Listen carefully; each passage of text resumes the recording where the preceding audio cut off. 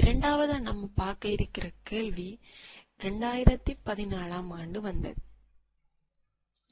கேள்வி என்னன்னு சொன்னால் ஒரு அதிர்ஷ்ட இலாபச்சீட்டில் வென்ற கீதா பெற்ற பணத்திலிருந்து மூன்றிங்கில் பத்து பங்கை தான் கற்ற பாடசாலையின் நூலகத்திற்கும் மீதி பணத்தில் நாலெங்கில் ஏழை தனது பிரதேசத்தில் உள்ள முதியோர் இல்லத்திற்கும் நன்கொடையாக வழங்கினார்.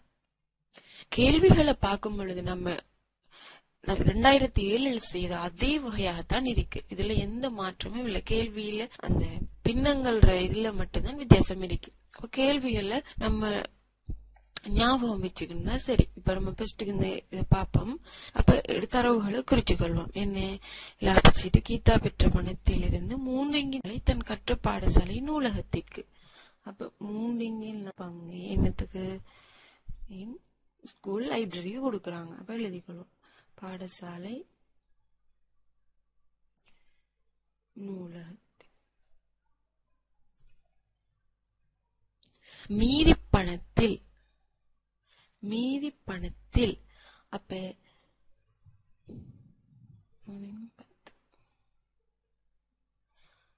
அப்ப நம்ம இதுல பாடசாலை பாடசாலை நூலகத்துக்கு கொடுத்ததுக்கு புறவு எஞ்சிய பங்கு காணணும். அப்ப நம்ம என்ன செய்வோம்? எழுதிக்கொள்வோம்.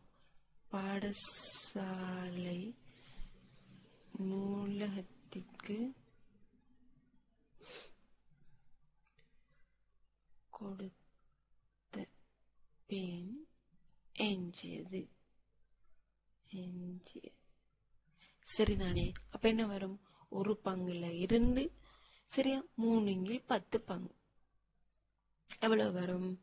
ஒரு பங்குல இருந்து மூணுங்கில் பத்து பங்கு ஏழுங்கில் பத்து. அது தெரியும் தானே இலகுவானது இப்ப இந்த மீதி பணத்தில் சரிதானே இந்த- இதுல மீதி பணத்தில் இப்ப இருக்கிற மீதி இது. இந்த மீதி பணத்தில் நாலங்கில் ஏழை தனது பிரதேசத்தில் உள்ள முதியோர் இல்லத்துக்கு. சரியா? அப்ப அப்ப முதியோர் இல்லத்துக்கு எவ்வளவு என்று சொல்லி காணுவோம். முதியோர் இல்லத்துக்கு கிடைத்த பங்கு எவ்வளவு? ஏழைங்கள் பத்து இதான மீதி? இந்த மீதியில ஏழுங்கில் நாலுங்கில் ஏழு என்ன செய்யறாங்க முதியோர் இல்லத்துக்கு கொடுக்கறாங்க. இப்ப இதை நம்ம சுருக்கலாம். ஏழு மேலும் போயிடும். இது ரெண்டால சுருக்கலாம். ரெண்டு இது அஞ்சு. ரெண்டு இங்கில் ஐந்து.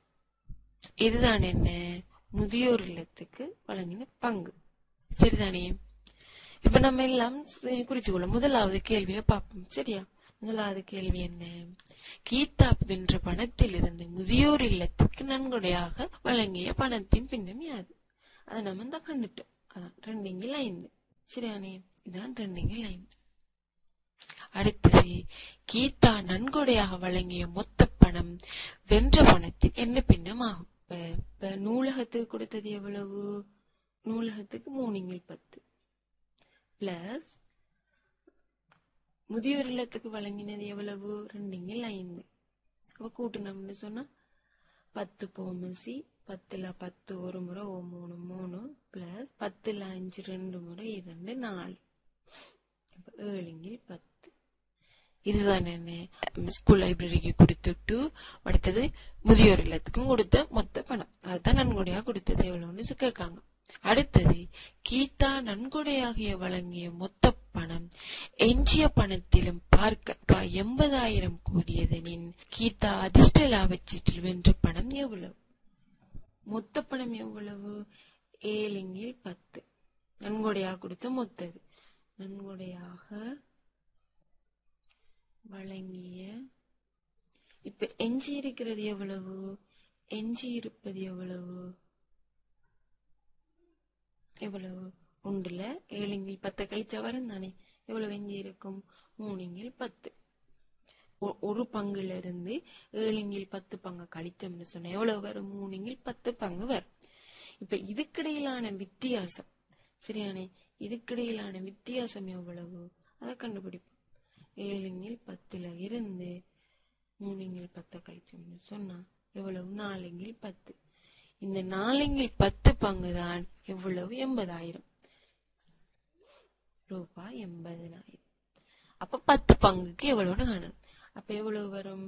நாலு பங்குக்கு தான் எண்பதாயிரம் ரூபாய் அப்ப நம்ம இலகுவா காணலாம். எண்பதாயிரம் தர பத்து. சரி நீ அப்ப எவ்வளவு வரும்? ரூபா ரெண்டு லட்சம் ரூபாய் ரெண்டு லட்சம். இதுல ஏதாவது குழப்பங்கள் இருக்கா இல்லையே. இது வந்து என்ன பத்து பங்குக்கு நாங்க இங்க காண்றோம். பத்து பங்குக்கு. இப்ப இந்த இங்க பகுதி எண் பத்துங்கிறதுனால சரியான இந்த பத்து பங்கு குறியது எவ்வளவுன்னு பாக்குறோம் இது நாலுக்கு தான் நாலு பங்குக்கு தான் இந்த எண்பதாயிரம் இது செய்து சரியான இதுல எதுவும் உங்களுக்கு குழப்பம் இல்லை தானே? இது இலகுவாக நம்ம செய்யக்கூடியது. நாலுங்கில் பத்து பங்கு தான் எவ்வளவு? ரூபாய் எண்பதாயிரம். நாலுங்கில் பத்து பங்கு அப்போ முழு வாசிக்கு எவ்வளவு? என்றதுதான் இப்படி காண்றோம்